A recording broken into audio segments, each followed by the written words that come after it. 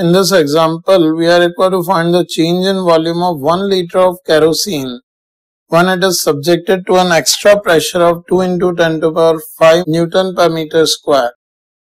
Given that the density of kerosene is 800 kg per meter cube and the speed of sound in kerosene is 1330 meters per second.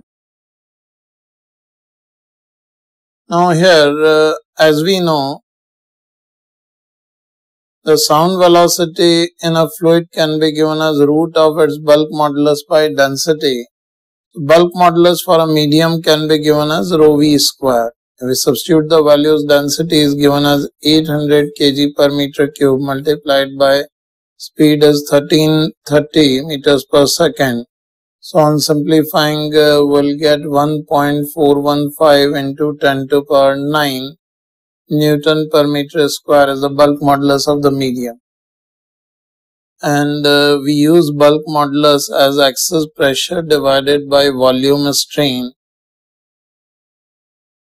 In this situation, we can easily calculate the change in volume or uh, the volume which is compressed due to applied uh, excess pressure delta V.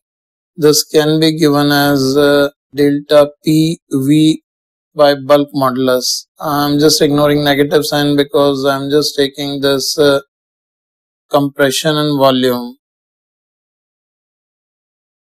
So it is uh, taken negative.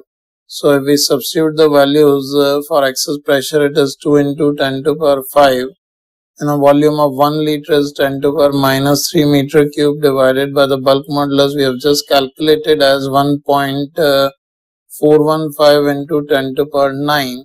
So on simplifying we'll get uh, 1.41 into 10 to power minus 7 meter cube which is 0.141 centimeter cube that will be the answer to our problem.